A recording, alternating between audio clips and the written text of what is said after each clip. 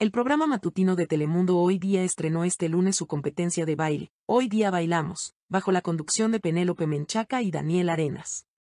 Cuatro celebridades, Daniela Navarro, Ojani Noah, Jessica Seriel y Nicky Chávez, se apoderaron por primera vez de la pista de baile los tres concursantes restantes, Beta Mejía, Jorge Aravena y Gisela Aboumrad.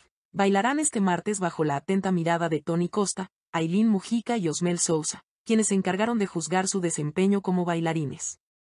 Una de las parejas que derrochó más sensualidad y química sobre el escenario, por el tipo de baile que le tocó, fue la conformada por Daniela Navarro y su bailarín Andy Nelson. Esto empezó mi gente.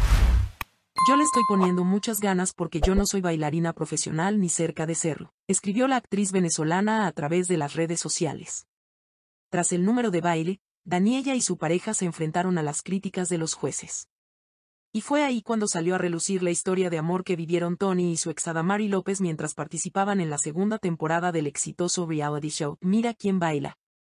Si hay alguien que sabe de la sensualidad y la comunicación entre el coreógrafo y su bailarina eres tú Tony, comentó, el zar de la belleza.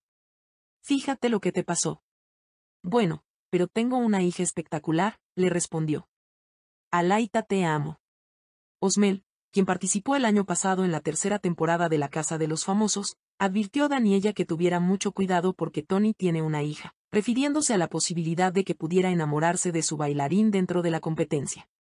A lo que el instructor de Zumba agregó de lo más pícaro, ten cuidado entre baile y baile,